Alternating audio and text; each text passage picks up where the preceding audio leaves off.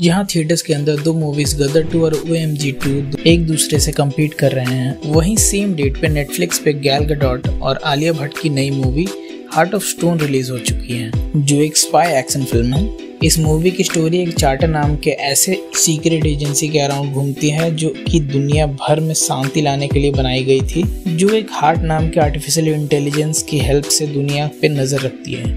Heart एक ऐसा AI chip होता है जिससे ये लोग दुनिया के किसी भी इलेक्ट्रॉनिक डिवाइस को हैक कर सकते हैं। गैल ने इस फ़िल्म में रेचल स्टोन नाम की एक स्पाई एजेंट का रोल किया है, जो चार्टर के लिए काम करती है। वहीं दूसरी ओर आलिया भट्ट हमें इस मूवी में एक ग्रे कैरेक्टर में दिख रही है, जिसने किया धवन नाम की एक हैकर का रोल किया है, जो हार्ट को चुराना चाहती है। फ़िल्म में हमें जेमी डॉनन एज विलन देखने को मिलते हैं, जो हमें फिफ्टी सेट्स ऑफ़ ग्रे में देखने को मिलते हैं।